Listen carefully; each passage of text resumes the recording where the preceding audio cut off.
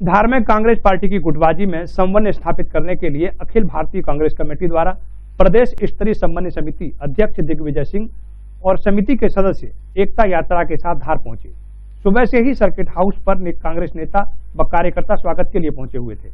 यहाँ पर जिला समन्वय समिति की बैठक में वन टू वन समिति के अध्यक्ष दिग्विजय सिंह ने लोगों से बात की। ज़िले में आगामी चुनाव को लेकर समन्वय किस प्रकार रखा जाए ताकि सात विधानसभा में कांग्रेस की जीत हो सके। जिसके बाद गार्डन में श्री सिंह ने कार्यकर्ताओं को संबोधित करते हुए कार्यकर्ताओं से कहा कि मोदी और शिवराज सरकार किसान विरोधी है। पंद्रह सालों में बिजली के बिल पूरे पूरे वसूले और अब चुनाव नज़दीक आते ही बिल दो सौ रुपए महीना करने जा रही है। साथ ही उन्होंने मुख्यमंत्री और उनके पूरे परिवार पर भ्रष्टाचार में होने के गंभीर आरोप लगाए। दिग्विजय सिंह ने एक पत्रकार वार्ता में कहा कि मेरे 10 साल के कार्यकाल में बीजेपी एक भी भ्रष्टाचार का केस नहीं लगा पाई और शिवराज सरकार में व्यापम जैसे बड़े घोटाले किए, जिसमें हमने कार्यवाही करके मंत्री अधिकारियों को जेल भिजवाया।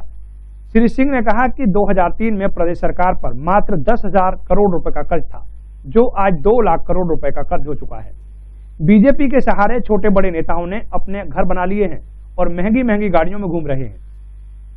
कांग्रेस पार्टी सन उन्नीस से लेकर 2003 तक हमने धान पर और गेहूँ पर सब्सिडी दी।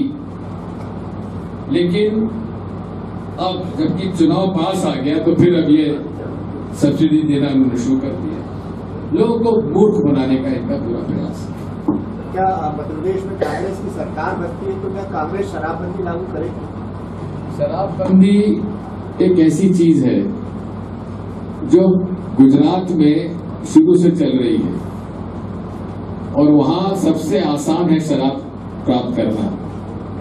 जिन जिन राज्यों में शराबबंदी का निर्णय हुआ है उन उन प्रांतों में शराबबंदी असफल रही है। फिर भी कांग्रेस पार्टी क्या निर्णय लेती है, ये हमारा चुनाव घोषणा पत्र तय करेगा।